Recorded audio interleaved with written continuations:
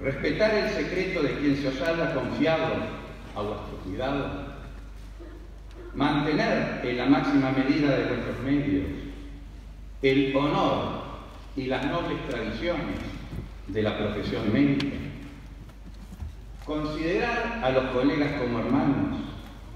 no permitir jamás que entre el deber y el enfermo se interpongan consideraciones de religión, de nacionalidad, de raza, de partido o de clase. Tener absoluto respeto por la vida humana desde el instante de su concepción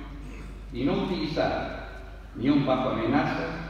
los conocimientos médicos contra las leyes de la humanidad.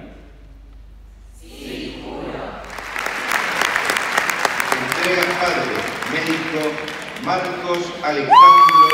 Lucas